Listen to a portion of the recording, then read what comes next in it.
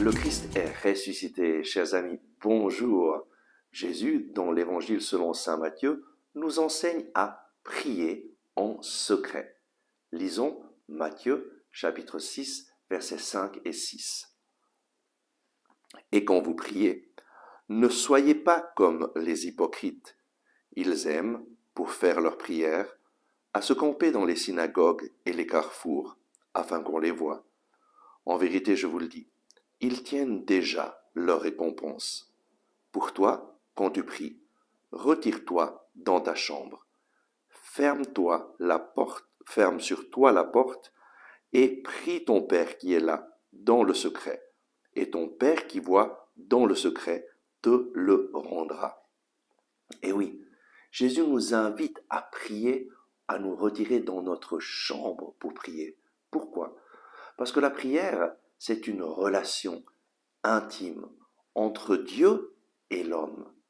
C'est toujours Dieu qui prend l'initiative de frapper à ta porte, qui veut te parler. Mais c'est toi qui prends la Bible en main pour lire sa parole, pour te mettre à son écoute, afin que sa parole entre dans ta vie et te guide, te montre le chemin. Aujourd'hui, le Seigneur t'invite à passer du temps en intimité avec ton Créateur, ton Créateur qui désire te parler. Et il te parle de façon spéciale à travers le Nouveau Testament, à travers les évangiles.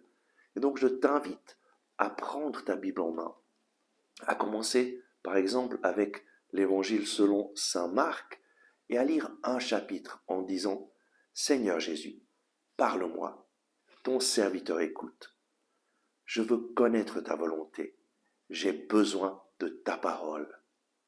Et en prenant l'habitude chaque jour de te fermer dans ta chambre, de rentrer dans ta chambre pour prier avec la parole de Dieu, eh bien tu feras l'expérience que Dieu est un Dieu qui te parle, un Dieu qui t'aime, un Dieu qui a un projet pour ta vie, et ta relation avec lui va devenir toujours plus belle, et son amour pour toi deviendra toujours plus perceptible.